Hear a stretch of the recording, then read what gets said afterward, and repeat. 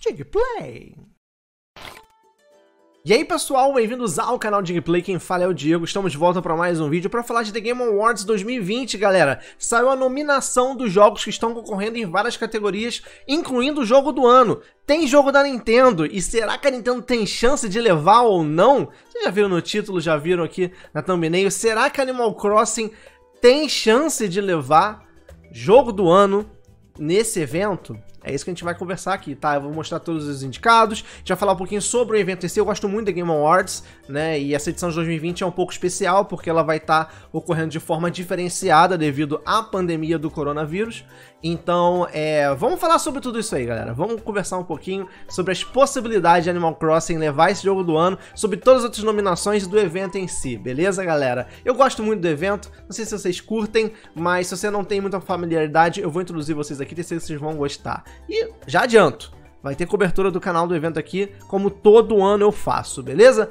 Vamos lá, galera, vamos lá. Antes de a gente falar sobre quem foi indicado, quem não foi, né, e sobre tudo isso, lembrando que o canal de gameplay tem aquela parceria com a loja Big Boy Games, beleza, galera? E agora, num desconto antecipado de Black Friday, o Pokémon Mystery Dungeon Rescue Team DX está saindo por R$ 253,99. É um preço de mídia física menor do que digital, porque na loja Nintendo brasileira está saindo por R$ 299 tá? Então, se você não comprou esse jogo ainda, tem vontade, é, a chance é agora para você ter o jogo ainda físico na sua mão, não apenas o digital, e mais barato do que o digital, tá beleza? Então é uma das promoções da Big Boy Games nessa Black Friday. Tranquilo, galera? O link para você comprar vai estar aqui na descrição. Compre o link que você ajuda pra caramba o canal. Lembrando, a Cogumelo Shop também é parceira do canal, tem várias promoções lá também. Vou deixar um link aqui na descrição também com várias promoções da Cogumelo Shop, tá? E a Amazon, se você quiser comprar um cartão microSD de 128 GB, já com a configuração perfeita no preço bacana para você botar no seu Switch Switch Lite,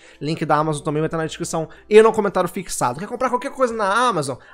Alexa, PlayStation 5, Xbox Series S, aspirador de pó, sei lá, uma blusa, também usa qualquer link aqui da Amazon na descrição, no comentário fixado, vai lá e compra, você não necessariamente precisa comprar o produto que você clicar, mas só usando o link você já ajuda o canal pra caramba, beleza galera? Último recado eu prometo, quem é membro e sub do canal está concorrendo a um sorteio de Harulu Wars Age of Calamity, beleza galera? Eu vou sortear no dia 28, exclusivo para quem é membro e sub, então aí mais uma vantagem de você apoiar aqui o canal, tranquilo? Então vambora agora, de verdade, vambora para falar sobre The Game Awards.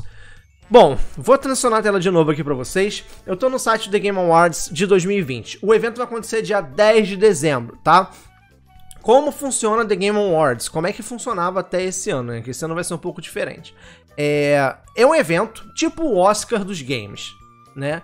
Então é, é reunido toda a, a indústria num evento presencial, representantes de cada empresa, principalmente daquelas empresas que tiveram seus jogos ali é, listados, estão lá para poder curtir aquele evento. O evento, ele não é apenas para premiar jogos, ele também é para anunciar jogos, assim, ele é um grande evento. Então a gente vê grandes jogos anunciados que a gente chama de World Premiere, que são anúncios inéditos, ou então um pouquinho de, de alguma coisa de um jogo que já tem lá é, anunciado, mas vai ser alguma coisa inédita lá também, então isso também acontece. Então The Game Awards, além de ter uma, ser uma reunião imensa do, da indústria de games num lugar só, e nomear e presentear, né, com prêmios alguns jogos e indústrias desenvolvedoras, pessoas, etc. Também tem anúncio de jogos, por isso que é um evento muito legal, porque além de a gente ficar naquela torcida daquele jogo que a gente gosta ganhar ou perder, a gente ainda tem anúncios de novos jogos porque a gente só confere nesse evento. Ano passado, por exemplo, o Xbox Series X o novo console da Microsoft, que acabou de lançar, ele foi anunciado primeira vez na The Game Awards 2019.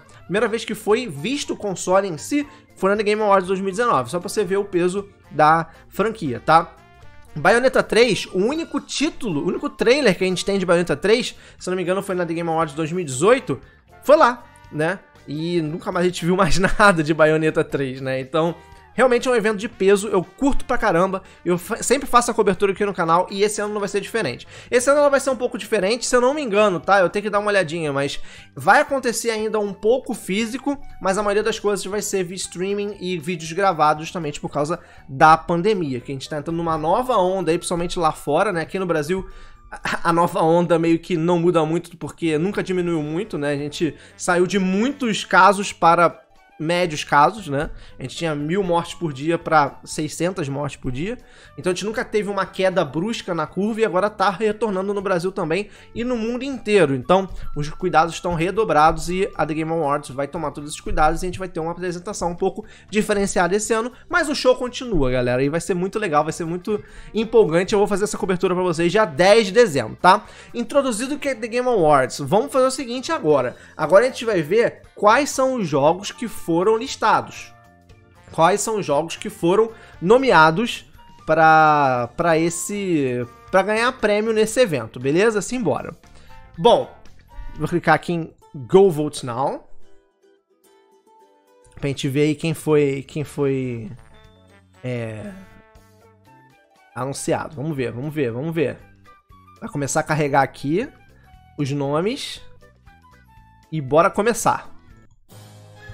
Começando com o Game of the Year, que é o jogo do ano, ou seja, quais são os jogos que estão concorrendo como melhor jogo do ano, tá? Doom Eternal, ok. Final Fantasy VII Remake, Ghost of Tsushima, Hades, o Hades, Animal Crossing New Horizon e The Last of Us Part 2. Então aqui da Nintendo nós temos Animal Crossing New Horizons mas que rodam em console Nintendo. Nós temos o Hades também e futuramente o Doom Eternal que não chegou ainda para o console, tá? E vai chegar, tá prometido para chegar, tá bom? Então, galera, bom, aqui é onde a Nintendo tem chances de ganhar, ok? Eu diria, assim, o que, que eu joguei daqui, tá, galera? Final Fantasy VII Remake. Eu sou apaixonado por esse jogo. Para mim, o meu jogo do ano é Final Fantasy VII Remake, tá? É, eu, quem me acompanha sabe que eu não gosto de Animal Crossing, então, gosto pessoal, eu não daria prêmio para Animal Crossing, mas é, o Game Awards não leva gosto pessoal, leva vários critérios, então ele tem total chance de levar. Mas para mim, o que, que eu joguei? O Final Fantasy VII Remake, joguei o Animal Crossing um pouquinho, mas eu não curto muito, e joguei The Last of Us Part 2. Na verdade, estou jogando, tá? Eu tô com umas 4 horas de jogo, mais ou menos. E aqui para mim, cara, é, vamos lá. O Doom Eternal tá recebendo muita crítica positiva, não vi uma, uma única crítica negativa. Mas não deixa de ser aquele jogo que a gente já conhece. Final Fantasy VII Remake, ele é um jogo que é sensacional para mim na critério de história. Ele é o melhor adaptação de gameplay de um jogo de RPG de turno para action RPG. Ele mescla o turno com action de uma forma magnífica. É o melhor gameplay que eu joguei de jogo de RPG até hoje, tá? Só que o Final Fantasy VII Remake tem algumas falhas técnicas. Do tipo, é, carregamento de textura no meio do nada, texturas com é, baixíssimas resoluções. Então, o jogo ele não é 100% é, tecnicamente, digamos assim. Ele é um jogo muito bom. Sem contar que ele é um jogo que é um remake, ele não é um jogo original. E ele é um jogo, uh, digamos assim, cortado, porque ele não é um jogo que que é entrega a experiência completa, porque ele vai ser dividido em algumas partes. A gente não sabe quantas partes ainda. Então tudo isso contribui para que ele não seja escolhido jogo do ano na minha concepção, tá? Embora para mim ele seja o jogo do ano. Ghost of Tsushima é uma nova IP. Eu particularmente não gosto da temática samurai, mas eu tenho alguns amigos que jogaram e falaram que o jogo é muito bom. Mas ele também sofre de algumas questões técnicas, bugs, etc. Mas é um forte candidato também. Hades eu não joguei, só vi alguns gameplays, é um jogo indie, tá? Muito legal ter mais um, uma vez um jogo indie aqui concorrendo ao jogo do ano, mas acho muito difícil um jogo indie levar, principalmente tendo como concorrente Animal Crossing e The Last of Us Part 2. Que na minha concepção, esses dois aqui vão ser os caras que vão é, disputar de fato esse prêmio de jogo do ano. Por quê? Nós temos dois gigantes. Dois jogos que, tipo, mobilizaram a indústria. Se eu clicar, fica colorido? Não, né? Eu tenho que logar. Ele fica. Tá meio escurinho porque eu tenho que é, me logar para poder clicar e tal. É, por que, que eu acho que eles são os dois gigantes e a, a briga vai ficar entre eles? Porque quando alguém escolhe um jogo do ano, ou quando a indústria escolhe algum jogo que vai ser é, considerado como o melhor jogo daquele ano, tem vários critérios. Critérios técnicos, critérios de direção de jogo, critérios de, enfim, artística, é, de áudio, todas essas categorias vão estar aqui, tá? Mas no final das contas, uma coisa que, leva, que é levado muito em consideração é o impacto que aquele jogo teve na indústria. Tá? E tanto Last of Us Part 2 quanto Animal Crossing, os dois causaram um impacto muito positivo. Só que cada um na sua veia, cada um na sua linha. Né? O Animal Crossing, ele, cara, ele é o jogo que uniu todo mundo nesse momento de quarentena, onde está todo mundo separado. O Animal Crossing ele é, um dos, ele é o jogo mais vendido rapidamente do Switch e bateu vários recordes de jogos vendidos durante, é, no mundo inteiro. Né? Ele já passou mais de 20 milhões de unidades vendidas. Ele é um system seller. Ele caiu na boca de um monte de gente famosa. Por exemplo, a Brie Larson, que por sinal lançou um, um comercial agora junto com a Nintendo. Nintendo contratou lá pra fazer comercial. Né? Então, muita gente que não tinha acesso a Switch, que não tinha acesso à franquia, passou a experimentar porque ele foi um fenômeno assim absurdo. E tecnicamente, o Animal Crossing, ele é muito bem feito, muito constru bem construído também dentro da sua proposta. O The Last of Us Part 2, ele é um jogo também que abalou a indústria de uma forma absurda, porque todo mundo, quando jogou, assim, a mídia especializada, tá, galera? Eu tô falando jogadores de gosto pessoal. É... Trataram esse jogo como um primor absoluto. E de fato ele é. Eu, particularmente, estou jogando. Graficamente o jogo é impecável.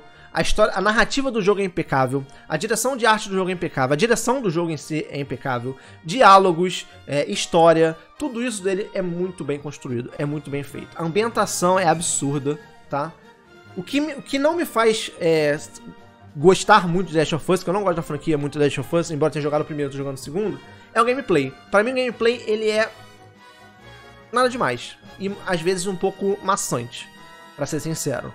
É, então The Last of Us 2, ele tecnicamente, e por causa da história, da ambientação, do envolvimento do personagem, do, do, do, jogador com aquela história ali, que é, ele é muito... Cara, a história do The Last of Us 2, o que acontece nos eventos de The Last of Us 2 é, é, mexe com a pessoa que tá jogando, brother. O cara tem que ser muito coração gelado para não mexer. E quando um jogo te toca dessa forma, de fato, ele transforma a pessoa que tá jogando. É, enfim, então, tecnicamente, o Last of Us 2 também na sua linha, ele é impecável. Então nós temos dois jogos que são, tecnicamente, digamos assim, é, impecáveis e que mobilizaram a indústria, as pessoas que jogaram de formas completamente diferentes. Então, eu não, sinceramente, eu não sei quem levaria nessa disputa. E para mim os dois têm chance de levar, tá?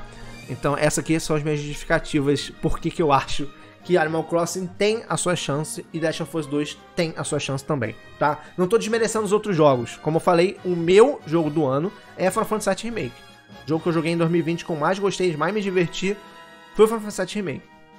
Mas, tô falando, incluindo os jogos do Switch que eu joguei, tá? É, mas, eu não tô desmerecendo os outros jogos, mas para mim essa briga fica entre esses dois, ok? Vamos dar uma pincelada rápida nas outras é, categorias, bem rápido mesmo, tá? Eu, quis, eu foquei mais nesse aqui mesmo porque é o principal. Mas vamos ver as outras categorias, ó. Ó, melhor direção de, de jogo, né? Final Fantasy VII Remake, Ghost of Tsushima, Hades, Half-Life Alyx e The Last of Us Part 2. Pra mim, no que eu joguei, entre The Last of Us 2 e Final Fantasy VII, The Last of Us 2 leva esse, jogo, esse, esse direção de jogo, tá? Por quê? É, é uma visão criativa e inovação na direção do jogo e design. Eu não diria que seria criativo do Last of Us 2, mas ele é tão bem dirigido, sabe, que talvez ele possa levar. Mas aí, como tem essa parte de, de é, criatividade e tal, talvez vá para outro jogo que não seja The Last of Us 2. Mas eu acho que todos. Eu não sei Hades e Half-Life. Mas. E nem os outros tinham. Mas entre Final Fantasy VII e Dash Fodas que eu joguei, os dois são muito bem dirigidos também, tá? Melhor narrativa. Mais uma vez, joguei só Final Fantasy VII Remake e Dash of Us 2. Entre esses dois, é, Dash of Us 2 leva com certeza. A narrativa do Dash of Us 2, embora eu não seja fã da franquia, era uma narrativa espetacular. Espetacular sabe? É, é, é, bizarramente espetacular. A narrativa do Last of Us dá de 10 a 0 a narrativa do Final Fantasy VII Remake. Já o gameplay do Final Fantasy VII Remake dá de 10 a 0 no do Last of Us 2. Na minha concepção. Melhor direção de arte, aí vai além, né? Eu, se fosse gosto pessoal, eu daria pra Ori. Eu acho a direção de arte do Final Fantasy VII muito boa também. Mas o Ori é lindo, né? Mas aí é 2D, não sei se vai levar e tal. Todas as direções de artes aqui são boas. Todas elas. Todas são boas. Mas a, o Last of Us 2 é uma pegada realista que eu não curto muito. A do Ghost of Tsushima é legal porque, cara, os ambientes de, de Ghost of Tsushima, quem já viu gameplay na internet sabe, são a coisa mais linda que existe, irmão. Sabe, tem cenas, procura na internet, que você vai ver assim, é, é impecável. E Ori, cara, tudo no Ori é lindo. não tenho o que dizer, né? Mas, enfim, eu não sei dizer quem vai levar isso aqui. Porque realmente é a briga de cachorro grande, tá? Aí tem é, música. né? Melhor música. Eu, particularmente, Dash of Us 2 tem uma trilha sonora legal? Tem. Só que, Doom também, geralmente a trilha sonora é maravilhosa, mas eu não joguei, não posso saber. Eu daria pra Final Fantasy VII aqui, porque eu tenho as músicas de Final Fantasy VII guardadas no meu cocoro, então...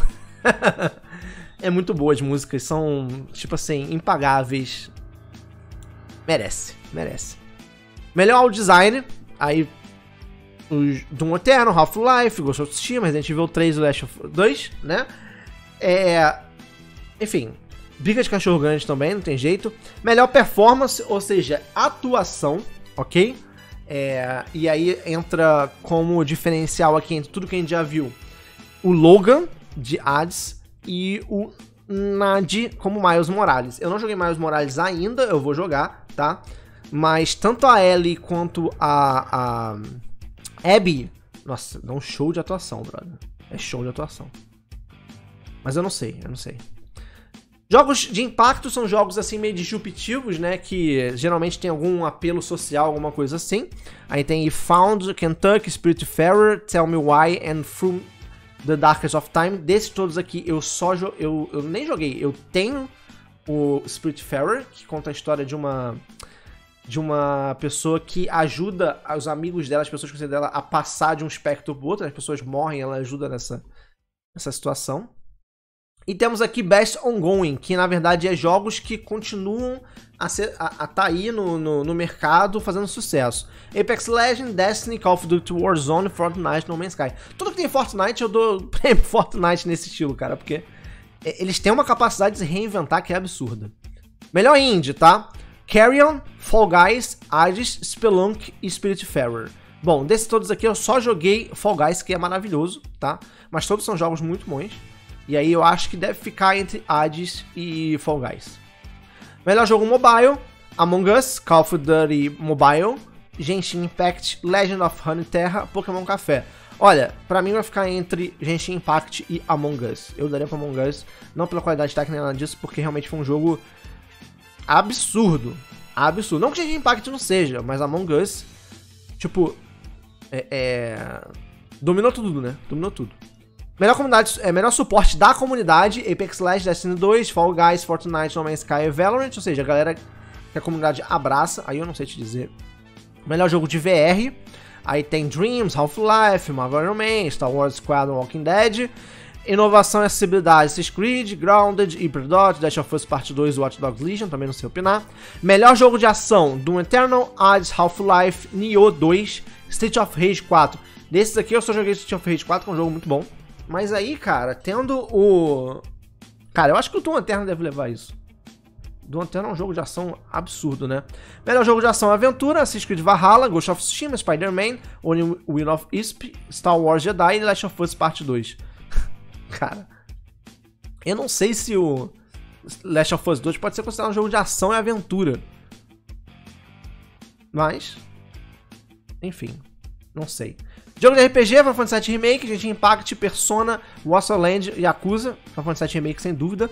Melhor jogo de luta, é, Grand Blue Fantasy, Mortal Kombat 11 Ultimate, isso aqui é meio que roubado, né? Porque é só a versão completa do Mortal Kombat 11. Street Fighter 5 Champion Edition, mesma coisa. One Punch Man e Under Night. Eu daria desses aqui, já que tem tudo repetido, pra Mortal Kombat 11. Eu acho que é um jogo impecável de luta. Melhor jogo da família, Animal Crossing, Crash Bandicoot, Fall Guys, Mario Kart Live Home Circuit, Minecraft Dungeon e Paper Mario Origami King. Então aqui a Nintendo entra de peso, como normalmente, e Animal Crossing, eu não tenho a menor dúvida. Melhor jogo de estratégia, Crusader Kings, Desesperado 3, Gear Tactics, Microsoft Flight Simulator e XCOM. Não sei opinar. Melhor jogo de esporte e corrida, Dirt 5, é Fórmula 1, FIFA 2021, NBA 2K21 e Tony Hawk's Pro Skater. Eu acho que leva Tony Hawk's, por ser o mais diferentão. Melhor jogo multiplayer, Animal Crossing, Among Us, Call of Duty, Fall Guys e Valorant. Cara, eu não sei como é que tá o, o multiplayer de Animal Crossing, tá? Mas por ser um jogo de peso, eu precisaria de Animal Crossing, mas eu não sei como é que tá tecnicamente o multiplayer dele. Enfim. Criador de conteúdo do ano, ninguém liga, porque isso é uma coisa muito focada para fora do Brasil.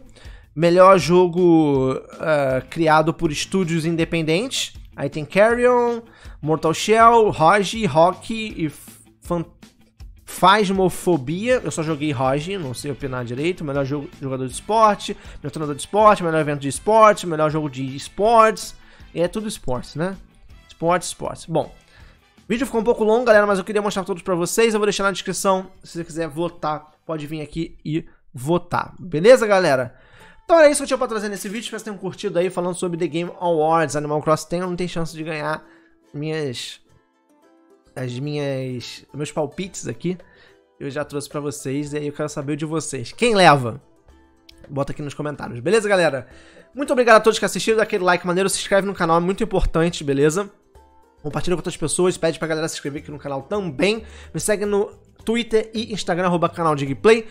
Dê preferência a comprar qualquer coisa pelos links da descrição nas lojas parceiras que você ajuda demais o canal, tá bom, galera? Eu vou ficando por aqui, até o próximo vídeo. Valeu, fui!